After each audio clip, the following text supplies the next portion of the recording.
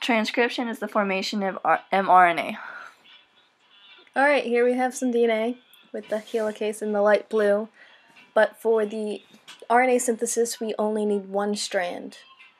And we'll use the RNA polymerase 2, which is the red circle, which goes from 3 to 5 prime end and creates um, matching base pairs for from the DNA strand as seen here.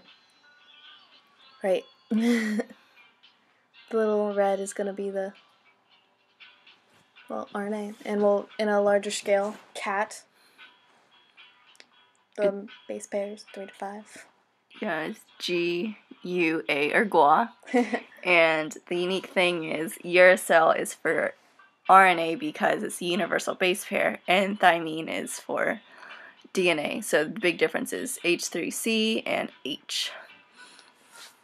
And here we come back here, and we'll now have pre-mRNA is created, which with the codons, a set of three pairs or at bases, are either called introns or exons.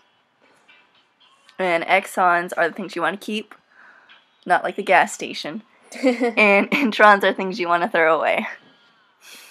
Yeah, and here's some introns, exons, and that's a spliceosome, which is responsible for removing the introns. It's kind of like a little bouncer at a party or whatever. It's gonna tell those introns, be like, hey, you gotta get out with a big red X. So erase those real quick. And once all those introns are gone, there's left with exons, but not all the exons are needed for a specified protein. So we'll pull a new a, uh, spliceomes, the one with the triangle glasses here.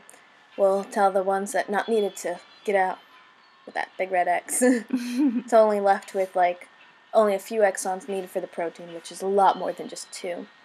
Here we have the two Com- codons again. Yeah, which is mRNA, and so it has a poly A tail like a horse, and then it has a cap, and the cap is responsible for keeping them separate and also binding two mRNA strands together. And drawing a horse because, you know, I can, and kind of looks like a, reminds me of a horse since it has a cap and tail. but, yeah, so we'll erase that because it's not needed. But once the mRNA is all done, it'll exit the nucleus because it's small enough to go start translation of the mRNA. Ends. Ooh.